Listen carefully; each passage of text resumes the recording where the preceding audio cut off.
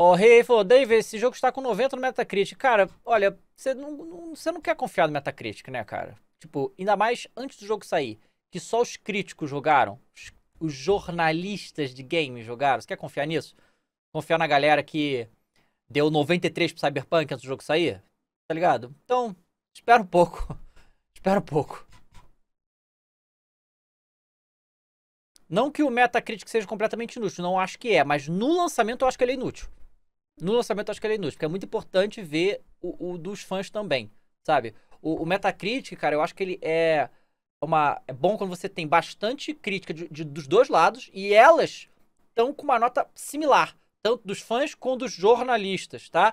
Que elas estão similares, que é, é mais capaz de que aquela nota ele faça um sentido maior, entende? Agora, antes do jogo sair, esquece.